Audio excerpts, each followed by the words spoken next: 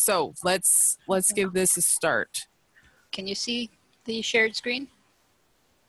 Check, check. Yep. No, no, Blank for me. that's fine. I can see I don't need to see it. I don't need to see it. My whole phone is frozen, so if it kicks me off, there you go. Okay. So um, I've tried to focus mainly on European finds from the 10th to 16th centuries. Sewing tools, thimbles, scissors, needles have been found throughout Africa and Asia and the Middle East, dating back to like many cent- centuries before Common Era. Um, so we're going to go to the first slide, which is needles. Okay. Uh, sorry, the first slide is uh, kit lists. Um, Okay. So this is just a, a quick rundown of the kind of things that you're going to want to have uh, in your embroidery kits and the kinds of things that we're going to be talking about as we go on today. Okay, so next slide. Okay. This this one's needles. Um, so firstly, whatever needle you pick is 100% personal choice. Um, there isn't a lot of difference in needles. Uh, like a milliner's needle is a long sharp, you know, and a quilter's needle is a sharp with a long eye and stuff like that, right? Like they're very small. So if you want to hand sew with an embroidery needle, you go right ahead. Um, metal needles have been found in Europe throughout our period. Uh, the needles found are often large by our standards, like most of them fall in the two to three millimeter range. This is likely because anything finer kind of disappeared. Um, however, the excavations at Coppergate have found two needles from the 12th and 13th century levels that are especially fine, as they call them.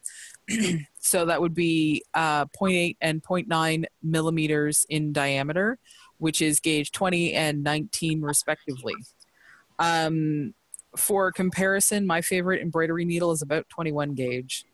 And remember, the bigger the gauge number, the smaller or thinner the wire. so the needles that we found, we found iron needles, copper alloy needles, and a respectable um, source, we'll call them copper alloy, because we cannot tell from looking at them whether they're copper or whether they're pause.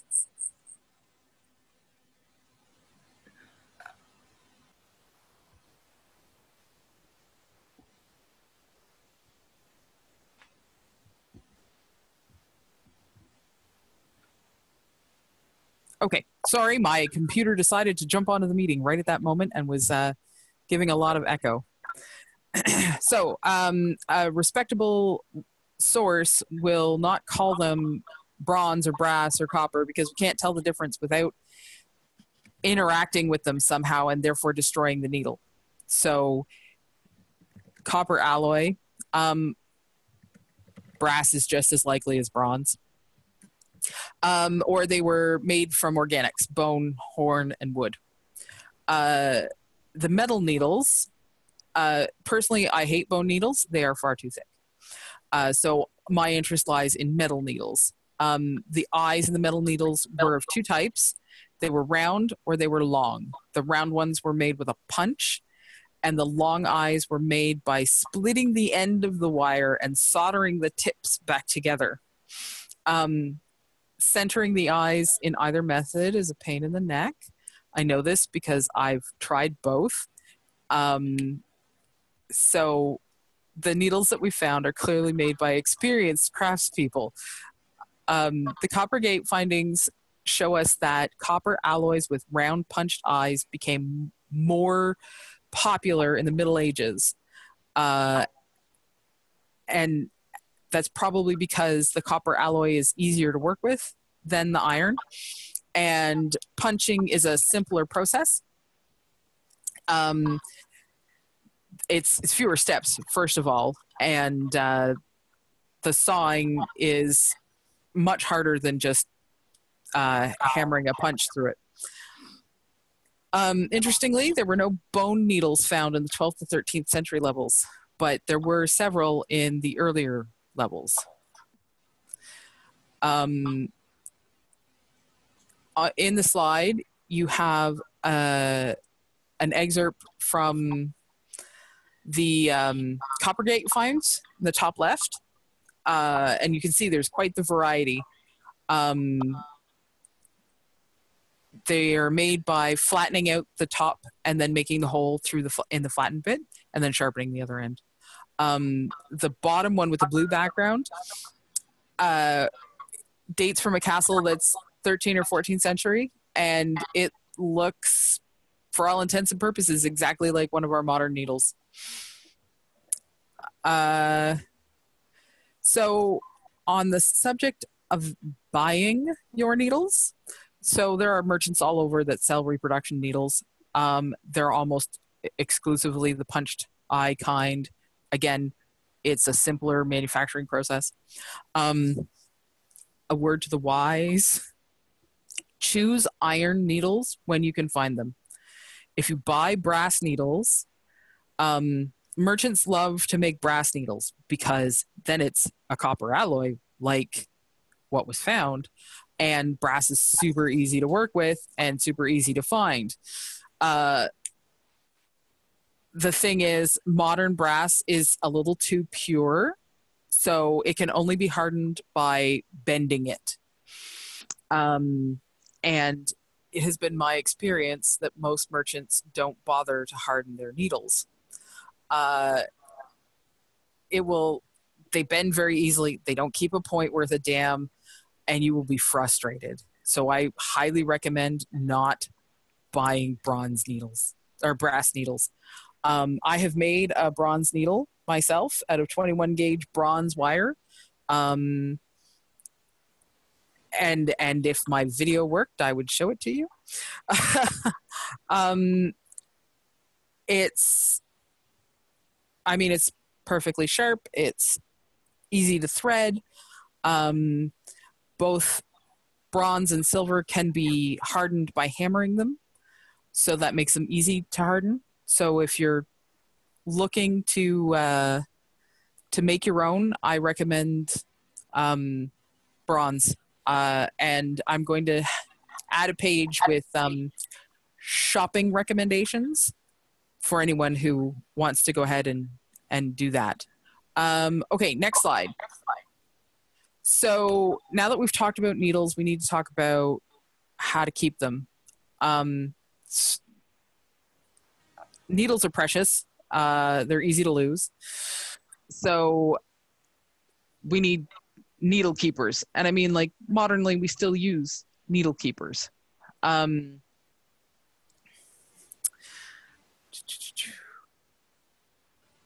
the Norse favored open ended tubes, the one on the left uh, bronze, silver, bone, whatever, um, a, a chicken bone, a small bird bone is super easy to turn into a needle holder because it's already got the hole in it.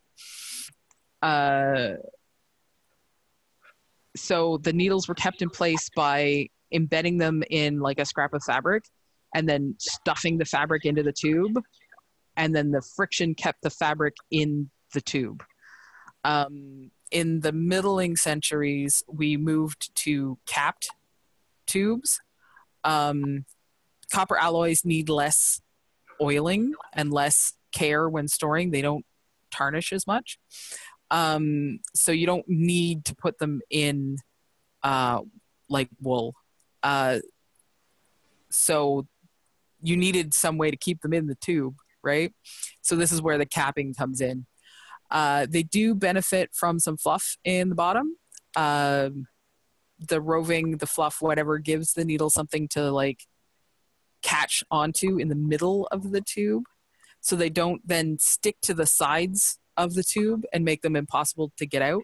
Um, I I was gifted a reproduction made by Cesare in um, in like one of those autocrat boxes, and I put my needles in it right away and I swear I put four in and I could only get three out. so um, I did some cleaning and and found the fourth needle. So I shoved um, cotton ball actually in the bottom. Uh, not super period, but no one can see it. Uh, so speaking of care of your needles, um, I you know I said the copper alloy needs less oiling. It doesn't tarnish tarnish as much.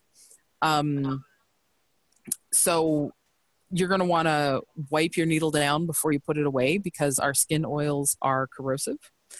Um, and again, if you're using iron needles, you're going to want to uh, store them in something kind of greasy.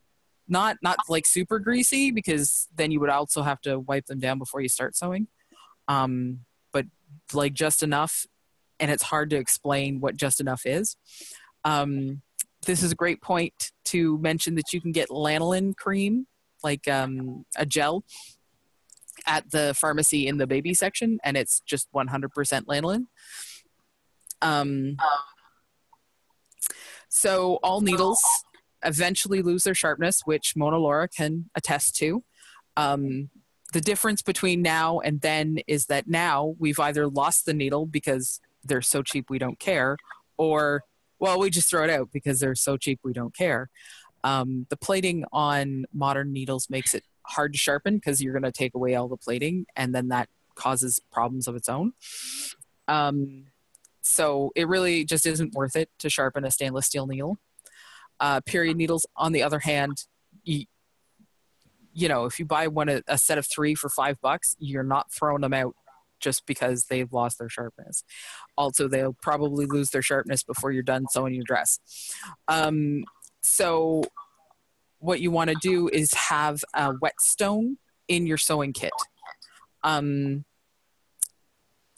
as you draw the, the needle away from the point, you also kind of want to roll it, and that will help you sharpen. That's how you sharpen a needle on a whetstone.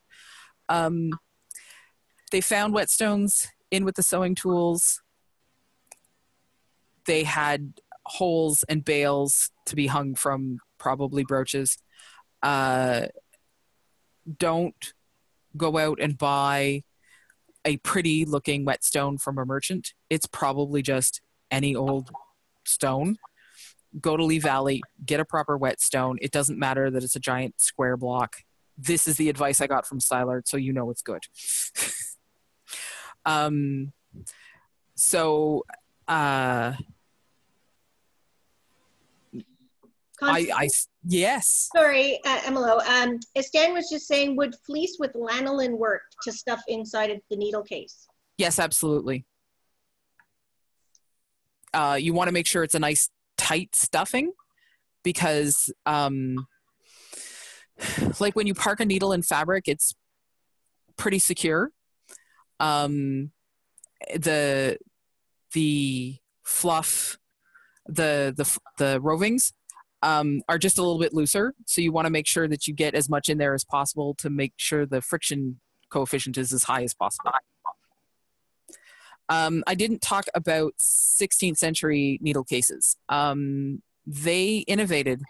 So they took their wooden bobbins, which we will talk about in a second, um, and drilled a hole down the center and stuck their needles in the middle of their bobbins, which is uh, efficient and minimalist and all of those wonderful things. Okay, so let's let's move on to the next slide and uh, talk about pins next. So pins. Um, pins are less necessary when hand sewing than when using a machine. Um, and Mona Laura disagrees with the use of pins entirely. Um, I find they do come in handy. uh, there are so many pins that have this like coiled ball at the top that museums don't even bother to put them in their collection databases. So, like, the only way that you'll find pictures of period needles of period pins is like uh, Rosalie Gilbert. Um, she went to the museum and took a picture of a sewing kit that was on display, but the um, the the museum she went to doesn't have that sewing kit or any of those pins in their online database. They're just not important enough. Um, uh, the pins are copper alloy again, very easy to use. Don't tarnish as much. Um, there have been a couple found in silver, but in my opinion, silver would have been used for clothing for the more well-to-do people because then you would see them um, and the the copper alloy would be saved for the sewing kit um, today we have pin cushions with emery in them to keep the pins sharp uh, i've only ever had cheap pin cushions so i don't ever like i haven't had one with emery but i'm told that the strawberry on your tomato is full of emery. Um, I am not aware of any pin cushions having been found in our period, but emery is a documented substance for sanding and shining metalwork. Uh, Theophilus mentioned it. Uh, so it's not out of the realm of possibility that they took fabric, stuffed it with emery, and then used this to shine and polish both their needles and their pins. Um, what it looks like is your guess is as good as mine.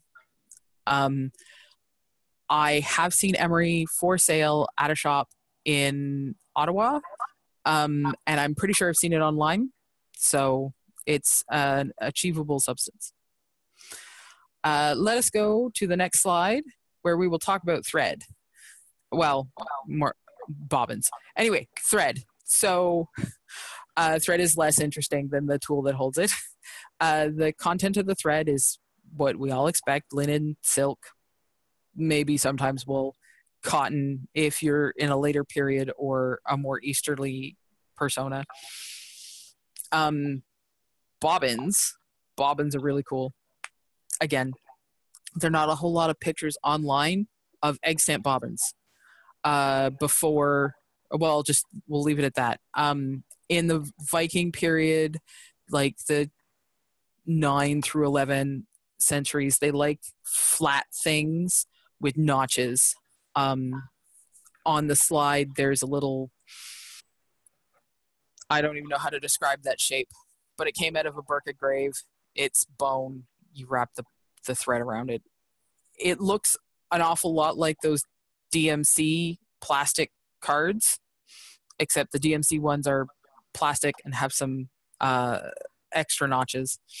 Um, the middling centuries went more to the long ones that are on the left.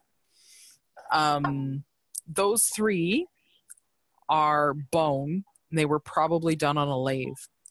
Um, that doesn't mean that there weren't wooden ones. I believe the London series books, the, the Museum of London book called um, medieval household, uh, which is somewhere in the mail, um, mentions a wooden bobbin. Um, based on these, I was able to get two different uh, woodworkers to make bobbins, um, which I am super pleased with and can't show you because my video isn't working. Um, I use the hand carved, longer, tiny ones that Duncan carved for my embroidery floss, and I find it works way better than the flat plastic DMC ones. Um, the thread clings to it. I don't need those extra notches, um, and they're super pretty. Um, so uh, we see once again the 16th century bobbin, which looks like any standard spool you could imagine today two of them stuck together and then it has that hole drilled down the center for your needles. So that's a like super efficient tool and i'm a little jealous of the 16th century. Um, so linen thread needs to be waxed right? Um, thread is delicate and it can like it frays and it knots and it it just generally misbehaves. And if you're using linen thread you just pass it over a cake of wax a couple of times and this will strengthen it, it will lubricate it, and it will keep it from fraying too much at the working end. Um, uh, Coppergate uh, excavations actually found a small ball of beeswax with the sewing tools, and like it's it's a common um, SCA event site token because it's useful for all kinds of things. Like archers wax their bows, armors, leather, all kinds of things. Um, for a sewer, a small like two ounce ball will last you forever. You could hand sew garb for the entire kingdom and not use it up. Um, so uh, it's it also I like it because it it means fewer knots. Um, and when embroidering, however, you don't want to cake the whole length of your floss with wax because um, it'll dull the look of the silk. Uh, but sometimes it's beneficial to wax the loose end. So you've got the knot on one end, and then you've got the the bit tail hanging out through the through the needle. That loose end, um, because of the way floss is so loosely spun, it it frays and it feathers and it just sort of slowly disappears. So if you put some wax or uh, modern thread conditioner on it, that is less likely to happen, and it will be helpful to uh, rethread your needle later when it comes out because it will because threads like that. Um, okay, next slide. Thimbles. Thimbles are super important. You need a thimble, and I hate them. Um, like a million and one thimbles have been found everywhere, and half of all portraits of tailors depict them they are they are PPE for sewers. Um, so we've found ring style. We found your traditional looks vaguely like a a, a tumbler, only thimble sized. Um, so it's flat on top and more or less conical otherwise, like a truncated hennin. Um, and then we found a whole bunch of kind of curvy domed ones, like the two Spanish ones that are on your your slide. Um, I wouldn't know which one works best. Uh, the important thing is that it covers the part that you push with, right? Uh, my problem with thimbles is that I can't feel anything through them, and so I it's like having a giant band aid on my working finger. I'll just use a different finger which makes the thimble pointless. Um, so I have trained myself to use a modern silicone thimble uh, because I can feel just enough that I don't automatically switch to another finger. Um, and it gives me just enough protection uh, to make it worthy. Uh, with embroidery, you don't usually use thimbles. Um, there are two kinds of uh, strategies for making your embroidery stitches. You could stab, so you you stab the needle down and pull the thread, and then stab the needle up with your other hand.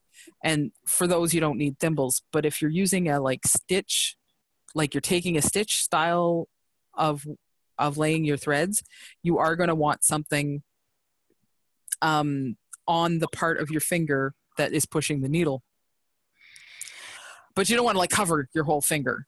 Um, I use uh, suede stickers. They're called thimblets. Um, I had to order them special because apparently I'm the only one in the world who still uses them. Um, but I stick them right on the part that I push with, and callous or not, uh, it, it improves my life. Um, again, thimble choice is personal choice you need to find one that you can work with. And if that's a weird quilting thimble or whatever, like go for it. Um, you can have a reproduction ring style thimble in your kit for show, but if if it's not protecting you the way that you sew, then it's it's no good for you. It it's just decorative. So, uh, let's move on to snips and scissors, which is way more fun than thimbles. Um, so next slide, please, Gina. so both snips and scissors or shears are important in your sewing kit. Um, the shears are often too big to cut the thread nicely at the end of a seam, so that's why you want the snips. And the snips aren't good enough to like cut the neck hole out if if that's what you're going to be doing at the event, right? Um, so scissors have been found in all sizes, in all locations, both the spring type, uh, like the Italian scissors in the middle, um, and the pivoted type, which are what people mostly think of when you say scissors. Um, they were an important innovation in history because scissors do jobs that knives can't. Scissors do jobs better than knives can't. You know all those movies where they take a knife and they cut the rope. That's that that doesn't happen. You can't cut an, a rope with a knife like that. You kind of need scissors. Um, and you know, like there's sheep need to be sheared and nails need to be cut and hair and all that kind of stuff. So not all scissors are necessarily sewing scissors. Um, so most of the ones that have been found are iron, although there are a few silver examples. Um, some of the silver examples that I've seen are like Korean or Chinese, they're Asian, and they're super pretty. Like they're niello or they're enameled or they're, you know, all that kind of stuff. Those are probably decorative. Um, because why would you risk ruining the decoration by actually using them, right? Um, the shape of scissors are remarkably similar to modern scissors, right? Like if you look at the pictures on the presentation, you, you there is no way to know that some of these aren't modern scissors, except the ones that actually say that they're modern. Um, you know, our our sewing shears have many ergonomic developments. You know, different sized finger holes with squishy padding and you know angled blades so that you could cut forever right?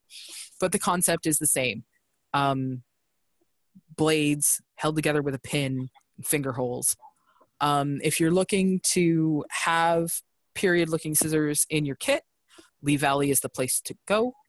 Um, they have the little spring shear scissors that come like a, a dozen for ten dollars or something if you can get them. Um, those are still really popular. Like with beading, you can get them at beading stores and cross stitch stores, um, but Lee Valley has them cheapest. And if you get like a whole dozen, then you can have a pair in every uh, sewing kit right? Um, and then they have a set of three or four uh, Japanese scissors, I think they're called. Um, and I mean, the shape is has been found in period, and they are iron, so go for it. Um, and they cut pretty well. Um, so our illuminations support our physical finds. Both spring and pivot style scissors are represented in all sizes.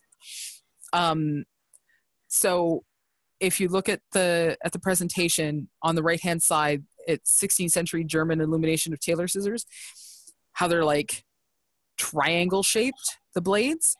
Um, so the bulky angular blade uh, is likely there to give some rigidity to the edge uh, so because without the bulk it might bend and and mess up the the cut and ruin the scissors so modern alloys and metalworking have let us just have some nice thin uh, blades without losing the rigidity um, for embroidery you rarely need large shears uh, but those little uh, spring style scissors are kind of perfect. Um, they are the only thing I have used in all of my years of embroidery. Um, I have only recently purchased modern embroidery scissors. You can see pictures of them on the deck um, because they're just so pretty. Uh, those are the smallest and the largest embroidery scissors that uh, Chelsea Buns, who is here in Ottawa, sells. Um, and they're pretty, and I like touching them, um, but they're not in my kit. Uh, so they're wicked sharp embroidery scissors, and they come to like a terrific point. Uh, this is for ripping out stitches if you've made a mistake. Um, I recommend not ever actually doing that, but that's besides the point. Um, and like sometimes you pull fluff up from the back um, because there's like lots of ends back there when you're using a bunch of different colors. So embroidery scissors are really nice for getting really close to the stitching without ruining anything. Um, so we have found uh, scissors with cases, both the silver embroidery scissors in the left and the Italian scissors in the middle have cases. Um, and we have an illumination of scissors in cases in, in a sheath. Um, and you definitely want to keep some of your scissors in sheaths. Um, embroidery scissors with their wicked point are good in sheaths, or you want to hang some heavy dongle from the finger holes because when you drop them, uh, you want them to land on their finger holes, not on the point. Because if it lands on the point, that's bad for the scissors and it's bad for the floor. Um, and my Lee Valley shears are so pointy that they just they go through everything. So I've had uh, Tanakin, uh, a local here, she's made me a little sheath, and there's documentary uh, support for that. So you should go ahead and do it. Um, so next slide, please. If anybody has any questions, please like scream. Um, my video is completely turned up. Like I can't, I'm not getting a video feed and uh, I'm not seeing the chat. So It- It's I'm- pretty quiet. I've been keeping an eye on it. thanks, Emilo. Okay, so we were going on to other sewing tools. So this is a German 16th century portrait. Um, in your traveling kit, you might want chalk. Um, you probably want something that measures. Uh, illuminations show both flexible measuring tapes and rigid rulers. I chose one with a flexible measuring tape. rigid rulers of any useful length are um, hard to transport. Uh, so you want a flexible tape, and those, um, you know, those bubble tape type measuring tapes that we all have, they're a little um, obvious. Uh, so to improve upon that, you can take a piece of, you know, beige uh, twill tape or grosgrain ribbon or something, sew the ends finished, um, so that you have a nice straight line to work with, and then just write the gradations on it yourself. Use ink. Don't be afraid of the Sharpie. I've said that already, haven't I? Um, and you know, one that's 40 inches is probably useful enough. Um, I might prefer one that's more along the high lines of 100 inches because I's fat. And if I'm going to be measuring myself, I need more than 40 inches. Um, awls are super useful if you want to do lacing holes or buttonholes or whatever's. Um,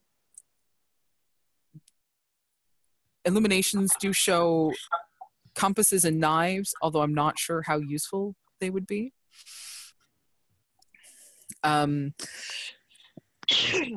but uh, but yeah, just as Um, buttonhole chisels, Or pinking. or is that, or is that a 16th century thing?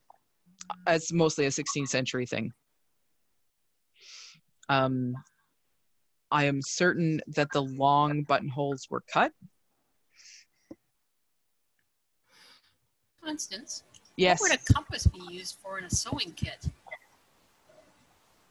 I haven't a clue. Well, if Um, it's tailors, it'd be patterning.